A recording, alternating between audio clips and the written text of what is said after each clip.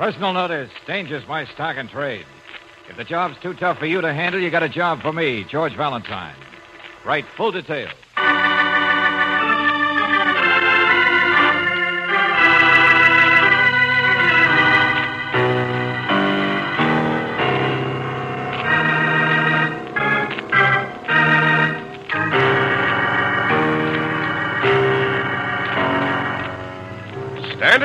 Company of California invites you to Let George Do It.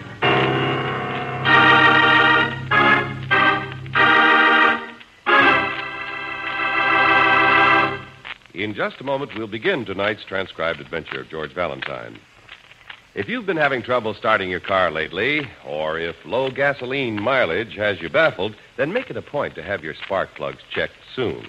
Dirty, worn spark plugs can rob your engine of power and pickup, and may even waste one out of every 10 gallons of gasoline you buy.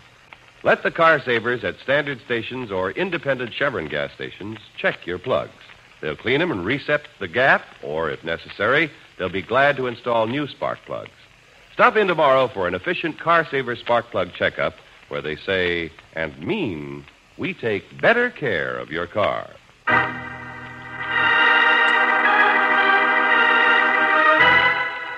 And now, tonight's story The Symbol Three, another adventure of George Valentine.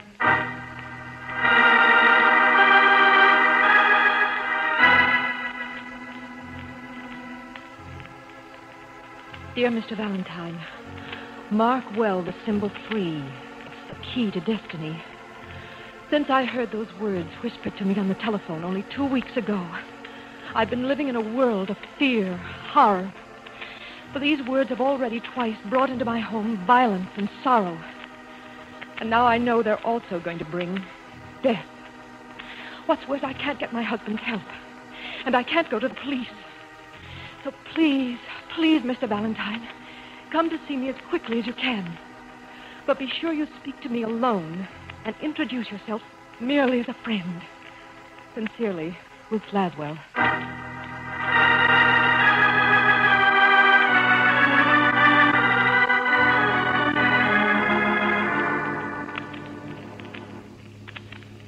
Unavoidable accidents.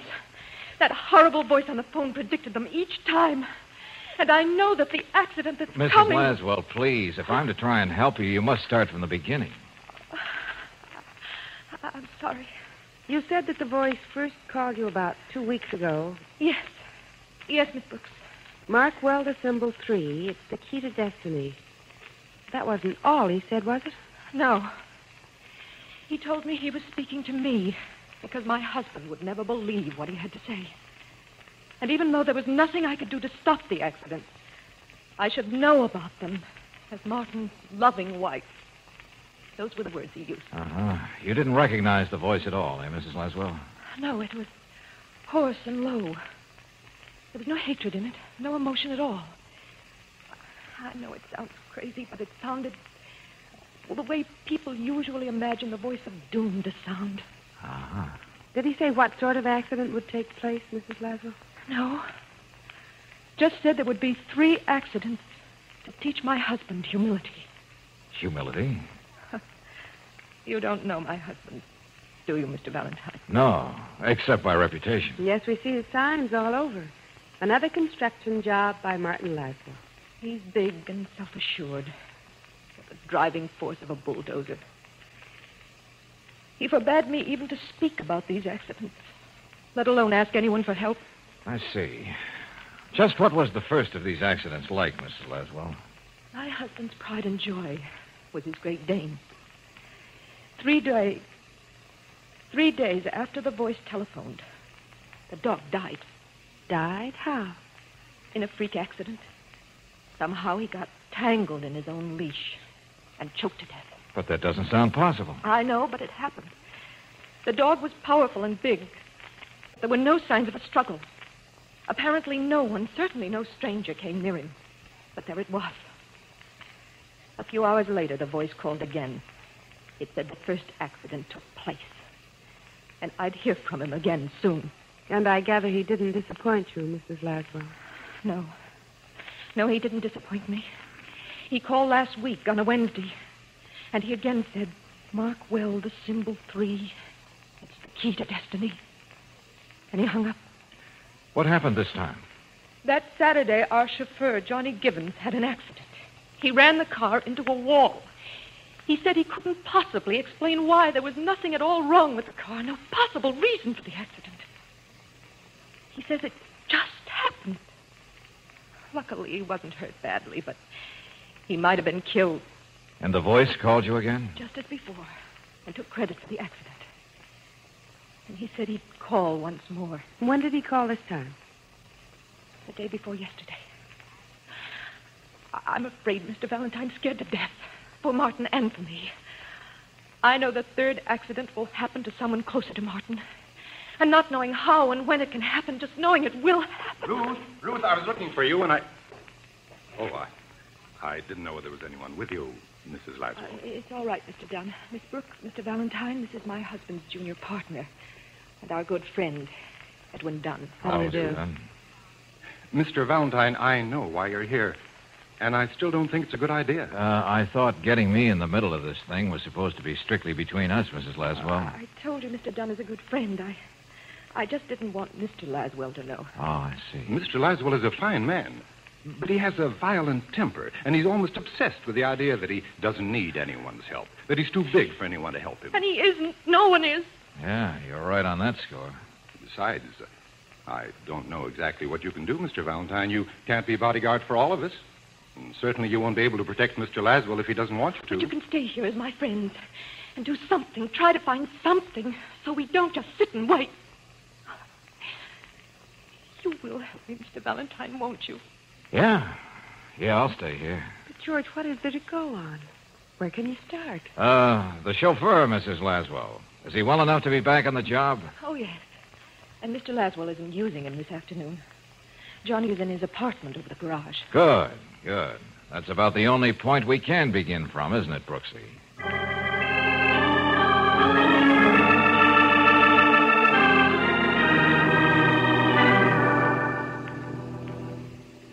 And you don't have any explanation at all for your accident, eh, Johnny? John. John Wesley Givens. Oh, I'm sorry. Uh, the road, was it slippery? No, Miss Brooks, not at all. Or perhaps you took the curve too sharply, Mr. Givens. There was no curve to take. It's like I said, there was no reason for me to lose control of the wheel. I've been driving for years with a fine record. It was as though I was made to have this accident by some power bigger than me. Now, John, I mean, Mr. Givens, you don't really believe that something, uh, well, supernatural made you have that accident, do you? There are many things we don't understand, Mr. Valentine. I'm a bachelor, and I've got time to do a lot of reading. We don't even begin to guess at some of the forces that exist all around us. Uh, yeah. For instance, I was worried about what Mr. Laswell would say about the accident. He's a big man and a violent one, and he has no patience with little people like me. What did Mr. Laswell say? Well, that's just it. Nothing. Mrs. Laswell said she'd speak to him first, and she did. And nothing at all was said about the car. Yes, sir, there are forces all around us that make all sorts of strange things happen. I, uh, I think there was a simpler explanation for your boss's behavior, Mr. Givens. Well, if you ever want to sit down to have a chat with me, young man, I'll be glad to do it and lend you some of my books. You too, young lady. Oh, thanks. Thanks very much. Books make you the equal of any man. Uh-huh. You don't have any idea when Mr. Laswell will be home, do you, Mr. Givens? Oh, yes, yes. I'm going to pick him up at the office in about a half hour. Thanks. We'll wait for him.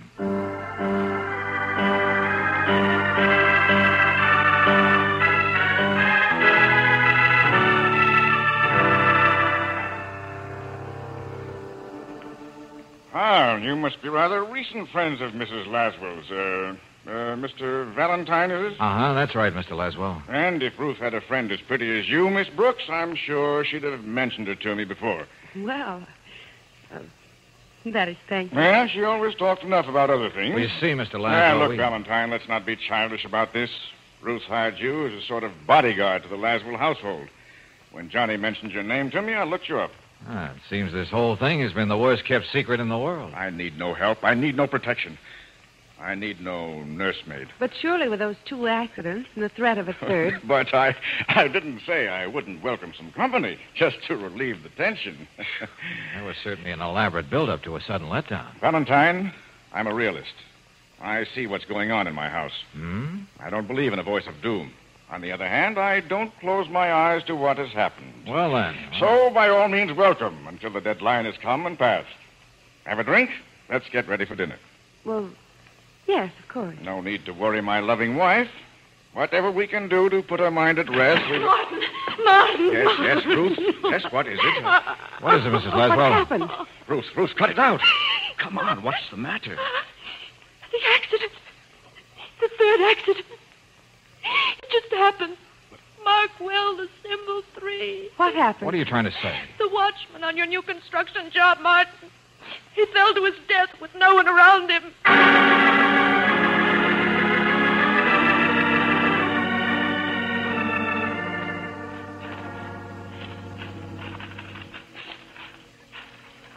The poor man's over there, just where he fell, Mr. Laswell. Thanks, Sergeant. Wagon will be coming for him in a minute. Brooksy, you'd better go back to the car and wait there with Johnny. Yes. Yes, I think so, George. I'll see you later. Johnny, you bumbling fool, bring up the car. Come on, Valentine. Yeah. His name was Williams. He's been with us for many years. A nice old man. Uh, oh, careful. Yeah. Good and steep down here, all right. Big drop. Yeah, we're just getting ready to clear all this up. The rocks, so so we can sink a foundation. Uh-huh. He must have been walking up there, along the edge.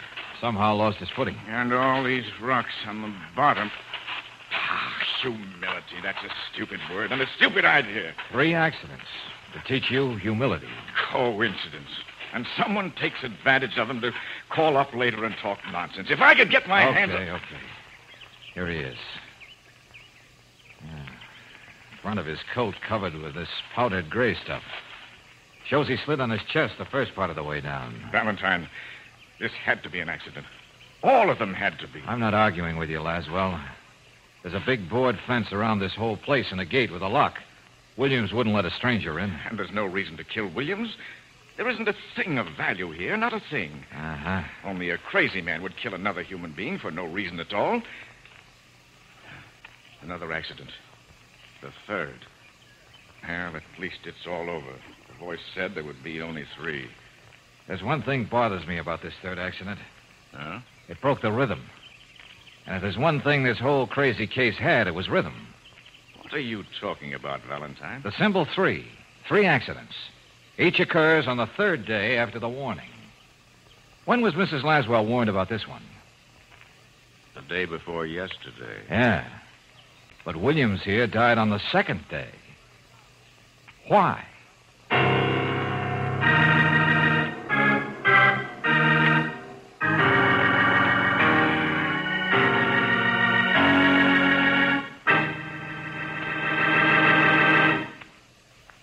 Return to tonight's adventure of George Valentine in just a moment.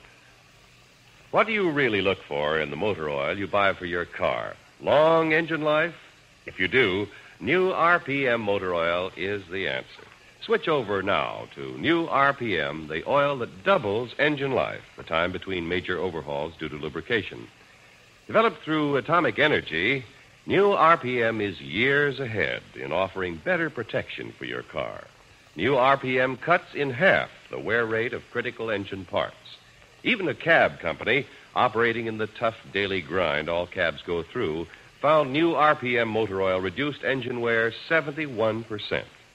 And compared with conventional oils, new RPM gives double protection against gum, acid, and corrosion in your engine. Now that many car manufacturers recommend heavy duty motor oil for top performance under all driving conditions, it's important to you to know that new RPM exceeds all of their requirements for a heavy duty oil. Considering these facts, it's easy to see why new RPM motor oil is first choice with motorists. Be sure you get new RPM motor oil for long engine life. Look for the sign of your nearest independent Chevron gas station or standard station. There you'll find new RPM motor oil, which is one reason they say and mean we take better care of your car.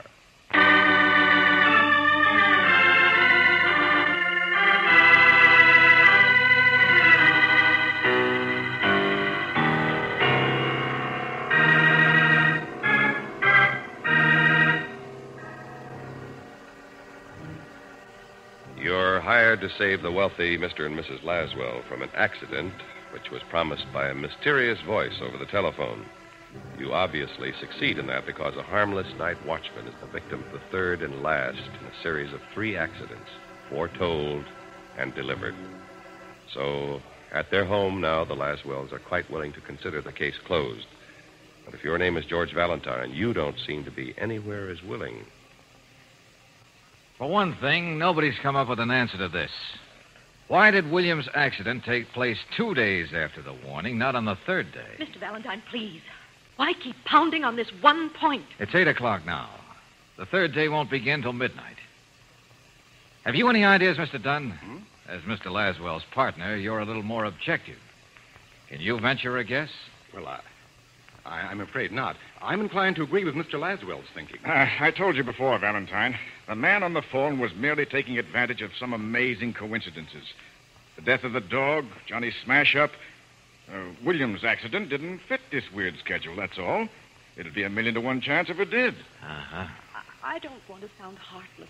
The poor watchman's death was horrible, so needless. But the nightmare is over, and I'm human enough to feel relieved. And the voice on the telephone? Some enemy of Mr. Laswell's. Some vicious man's idea of how to torture Mrs. Laswell. Uh, uh, Mr. Valentine, I'm grateful for your interest and sorry for the trouble my wife has caused you. Uh, here, please take this check, and thanks. Hmm. Nice check. Uh, we were just going out. Uh, Dunn, Ruth, and I. A quiet dinner somewhere, a few drinks. Why don't you call up Miss Brooks and join us? No, no thanks. I'm miserable company when something bothers me. And something bothers me.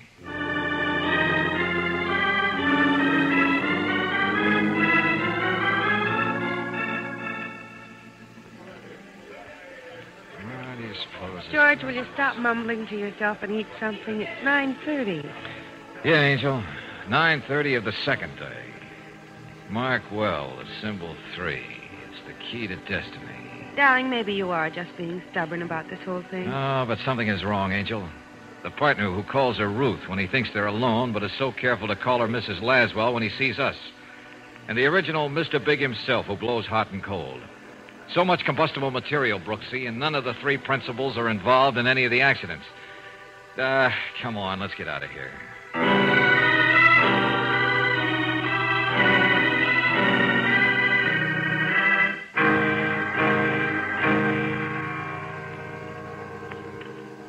But, George, really, the morgue. Just a hunch, Angel, but what a hunch. Uh, down this way, Mr. Valentine. They brought him in a couple hours ago. I know, Kennedy. Be right with you. I'll, um, I'll sit here at Mr. Kennedy's desk. There's some very interesting old copies of Life I simply mustn't miss. Yeah, okay, Brooksy. Here he is, Valentine. Uh, Williams James. Cause of death, accidental fall. Dates That's it. That's it. His nails, his hands. That's it. Hey, hey, Valentine, what is it? Have you gone crazy? No, Kennedy. A long shot just came romping home.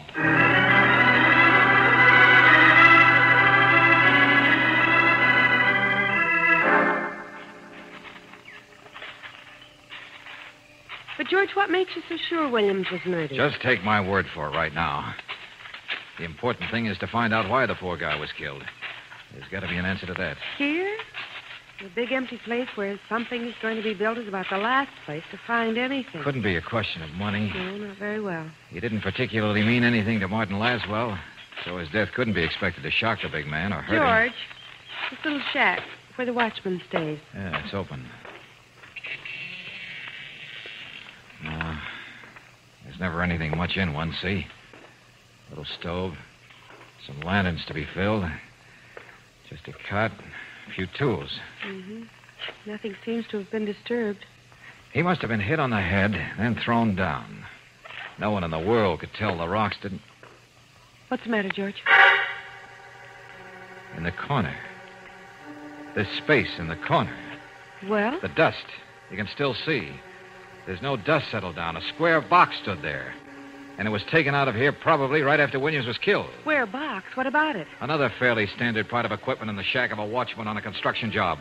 A box of dynamite. Dynamite. Yes, that might be cause for murder. There was no signs of a struggle. Somebody was let in. Somebody whom Williams knew. The Laswells. Edwin Dunn. And now somebody has enough dynamite to really mark a symbol three.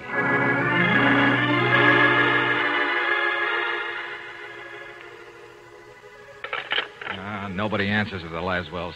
They're still out somewhere. But where? Uh, 1125.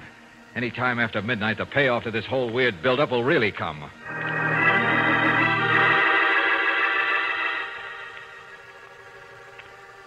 Brooksy, you get on the other phone. Call the police. Yes, George. Tell them to trace the license number of Laswell's car. Get the prowl cars and the motorcycle cops to see if they can pick him up.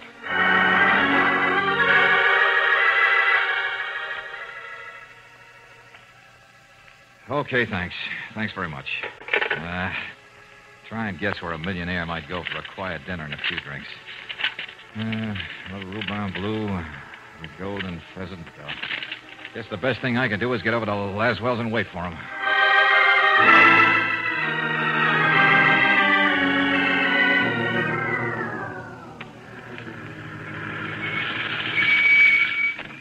What do you know? The house is all lit up. Uh-huh. Laswell's car at the door.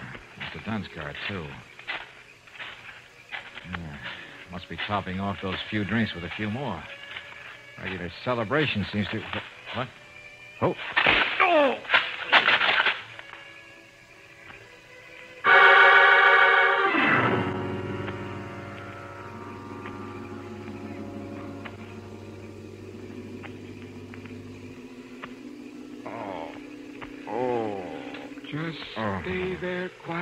Mr. Valentine. Oh, what? Huh? That's so dark. Hey, who are you? Where are you? I am near you. Near enough. The house is still lit up. But you dragged me away from it. Hey, where are we? In back of the house. You never noticed there's just a sheer drop to the bottom of the ravine. I gotta get into that house. Stay still. I've got a gun. You can't see me, of course, but I've got it pointed right at you. Yeah.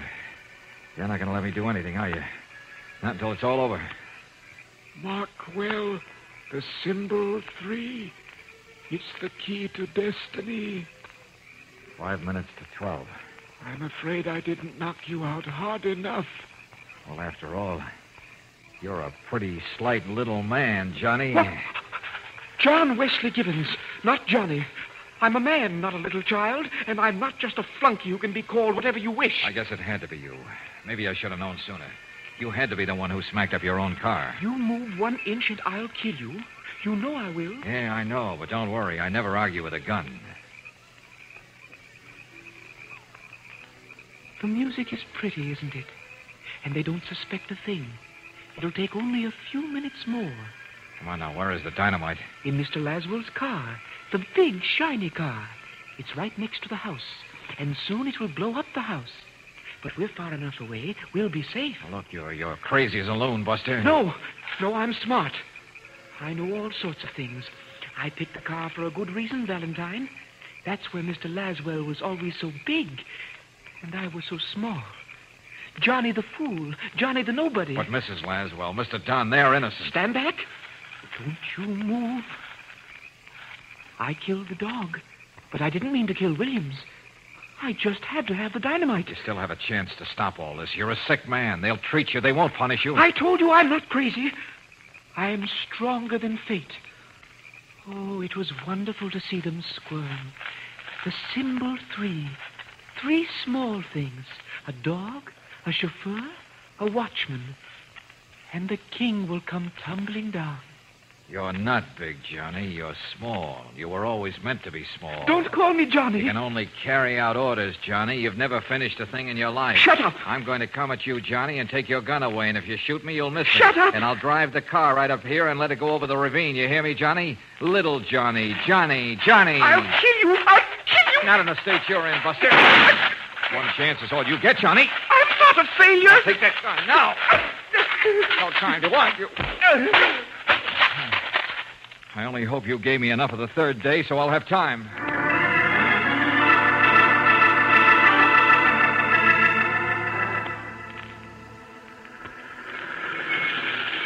Release the brake. Oh, tick a few seconds more, baby.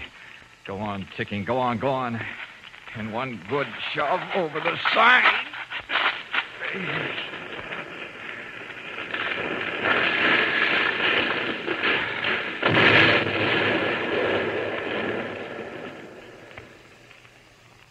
Three minutes after 12. Thanks for being true to the symbol of three, Johnny. Now to tie up some real loose threads.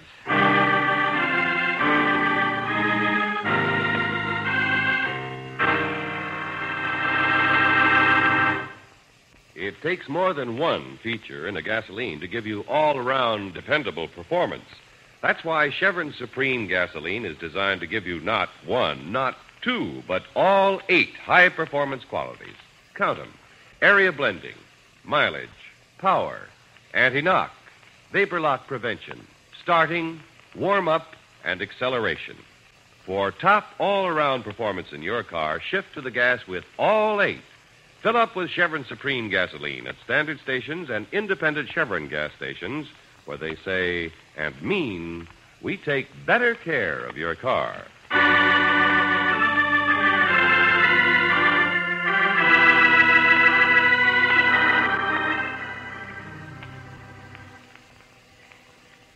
Messiah complex along with the persecution complex.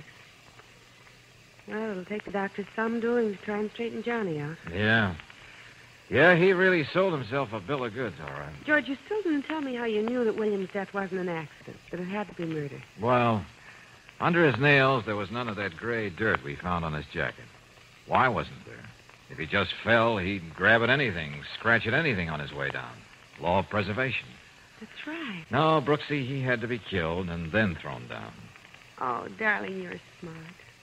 Very smart. Gee, thanks.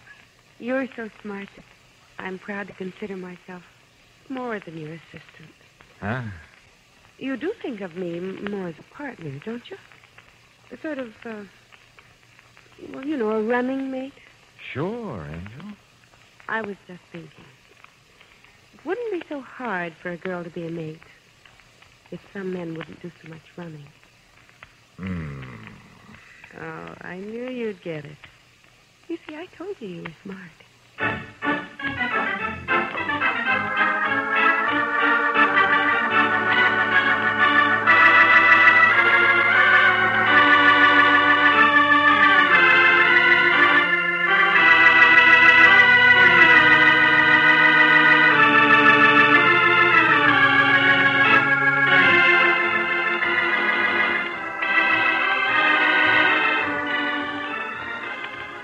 Tonight's adventure of George Valentine has been brought to you, transcribed by Standard Oil Company of California on behalf of independent Chevron gas stations and standard stations throughout the West. Robert Bailey is starred as George, with Virginia Gregg as Brooksy. Let George Do It was written by David Victor and Jackson Gillis and directed by Kenneth Webb. Jeanne Bates was heard as Ruth, Theodore Von Eltz as Laswell, Byron Kane as Johnny, and Don Randolph as Dunn. The music is composed and presented by Eddie Dunstedter. Your announcer, John Heistand.